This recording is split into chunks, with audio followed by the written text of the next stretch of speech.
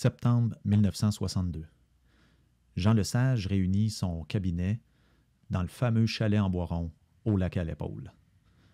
Alors ministre des Richesses naturelles, René Lévesque convainc le cabinet qu'il faut procéder à la nationalisation de l'hydroélectricité au Québec.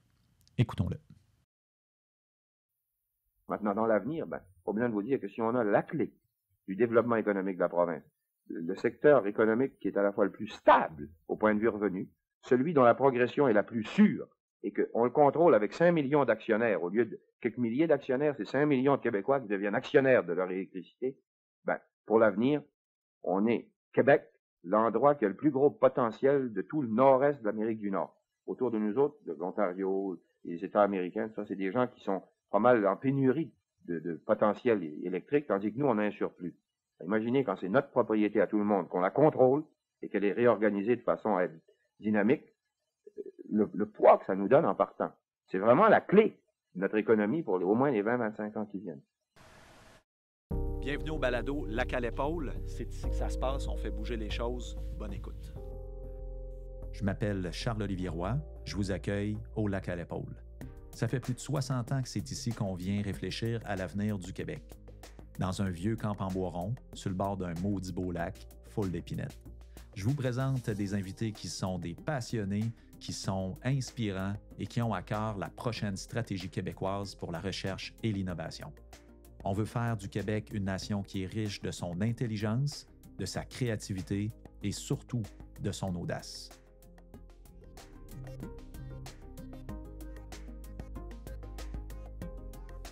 Notre nouvelle révolution, ça devrait être une révolution vraiment de fierté mondiale de qui nous sommes. Fierté, euh, pas juste vis-à-vis de face à nous-mêmes, mais face au reste du monde.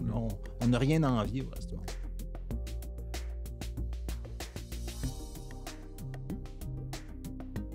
On est relativement stable politiquement, socialement, l'économie va bien. On vient, on, est à sortir d'une pandémie qui a ébranlé et permis un paquet de choses je dirais, c'est le moment de frapper. Alors, saisissons l'occasion d'être plus que moins ambitieux.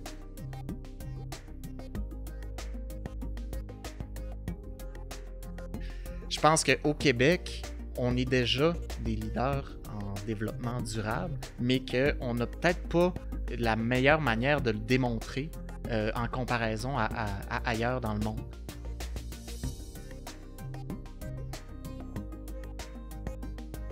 L'innovation sociale comme processus, comme perspective, ça peut vraiment aider à, contribuer à développer une culture d'innovation qui est plus collaborative, plus intersectorielle.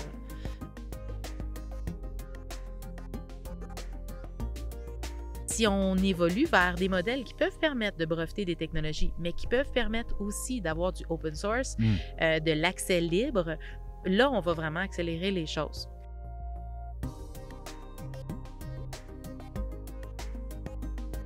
Des modèles d'innovation ouverte que nous, on peut emprunter ou est-ce qu'on peut y trouver son compte? Parce que moi, le temps est mon pire ennemi. Fait que si je peux aller plus vite, mais quand même, tu sais, euh, moi j'ai une reddition de compte, quand même pouvoir faire ma reddition de compte, mais là, tout le monde y gagne.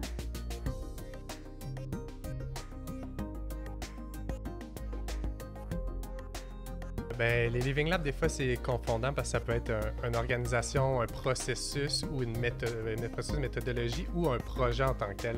Fait que je pense que la manière de le voir, euh, les, les caractéristiques principales, c'est d'être multipartie, une diversité de parties prenantes qui viennent autour de la table, puis d'être... Euh, qui sont pas habitués d'être ensemble d'habitude. Non, qui sont pas habitués d'être ensemble, puis qui ont différents points de vue en lien avec la situation.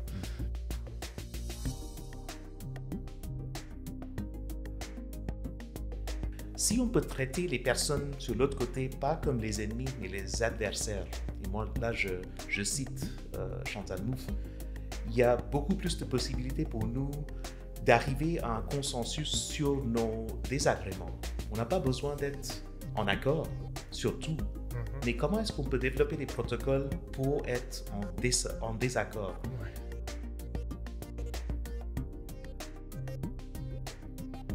Il y a tellement de gens qui peuvent contribuer, mais qui ils savent pas.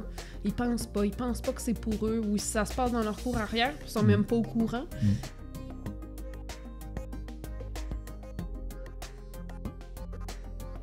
il y a des enjeux qui sont bien compris théoriquement en économie de, ce qu'on appelle la tragédie des communs, Donc, si chacun va pour son intérêt, on finit par tous perdre. Hmm.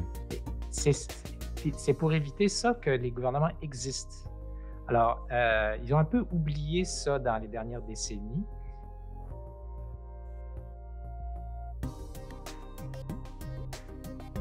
Des fois, on se voit plus gros qu'on est. Puis moi, j'aimerais ça qu'on se voit de la bonne grosseur parce que ça, ça va nous aider à serrer les coudes. Puis à créer beaucoup plus d'efficience. Moi, je suis beaucoup sur l'efficience, l'efficacité de nos systèmes, tu sais. Ça, ça passe par la capacité de travailler ensemble, tu sais. Puis la technologie est au service de ça.